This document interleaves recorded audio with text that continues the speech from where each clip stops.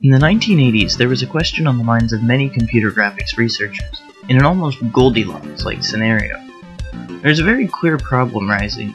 Computers simply didn't have enough memory to accomplish the rendering tasks they were required to do. Holding a texture in memory took up a lot of space, and at a time when RAM was still expensive, this put some severe limitations on the graphical realism of computer animations. While working on Tron, Ken Perlin wasn't too fond of all these clean-looking renders, and came up with an Academy Award-winning solution. Instead of holding onto an image drawn or photographed into the computer, Perlin thought to just define an image mathematically, so the computer could calculate any point when necessary. This isn't too hard with simple patterns, but nature doesn't always have simple patterns, so Perlin developed an algorithm that made 2D patterns of random blobs. And with a little manipulation, these patterns could mimic almost any natural surface pretty realistically. So how does it work? To start, you'll need a grid. And at each intersection in the grid, put a vector pointing in a random direction with a length of 1. Then, pick whatever point you want to evaluate. Make a vector from each surrounding intersection on the grid to the point. Then find the dot product between each of the respective vectors. A dot product is basically multiplying each component of two vectors and adding it all together, which happens to be equal to the two vector lengths multiplied by the cosine of the angle between them. Put simply, if they're pointing in the same direction, it's positive. If they point away from each other, it's negative, and if they're perpendicular, it's zero. With these four numbers, the calculation is almost complete. The next step is to interpolate between each number based on how far it is from each point. Usually this is done with respect to the x-axis, resulting in two numbers, and then again with respect to the y-axis to get the final value. There's one catch though. If you just linearly interpolate between the values, the grid lines will be apparent in the output. Perlin combated this though with a smoothing function.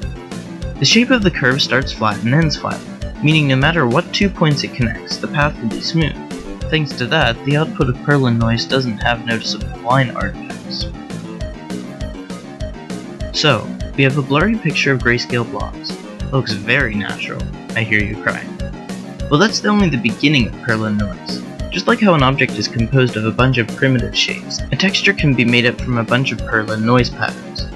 The two easiest parameters to modify are frequency and amplitude, basically the size and intensity of the blobs.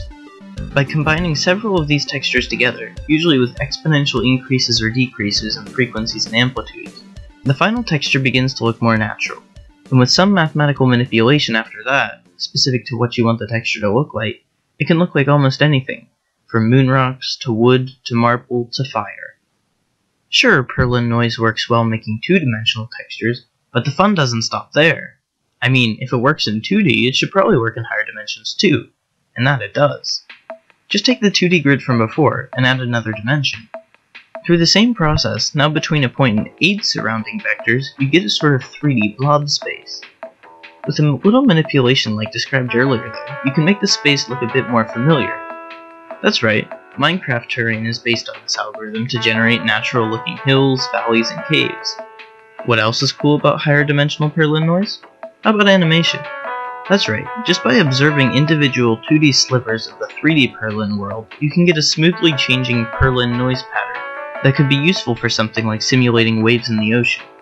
The animation you're seeing was actually animated on a graphing calculator over the course of many, many hours using this process. When you really think about it, it's amazing how such a simple pattern can be used in so many different ways to mimic so many different things in nature, and each time, because of the random vectors used in the calculation, the texture is unique.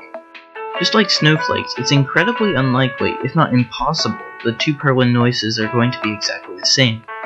That means every noise pattern, every texture those patterns make, and anything else based on Perlin noise are all unique. It's probably that fact that makes Perlin noise so useful in mimicking nature. Just like the real world, no two surfaces are the same. Unless, being that most of these random numbers are pseudo-random, if they're based on the same seed, then the patterns will be the same. But I digress.